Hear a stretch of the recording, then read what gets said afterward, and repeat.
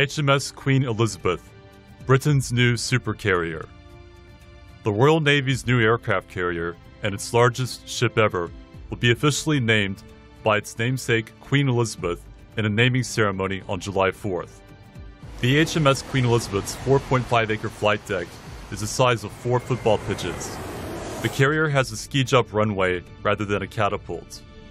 It was designed primarily to carry the F 35B, which can take off on short runways and land vertically. The Queen Elizabeth will carry an assortment of 40 aircraft. In addition to the F 35B, these will include Chinook heavy lift helicopters, Apache attack helicopters, and AW 101 Merlins, which perform utility, transport, and anti submarine warfare roles. With a displacement of 65,000 tons, the HMS Queen Elizabeth will be the world's second biggest aircraft carrier, after the USS Nimitz and larger than Russia's Admiral Kuznetsov and China's Liaoning. The carrier entered service in 2020 and is expected to be in operation for 50 years.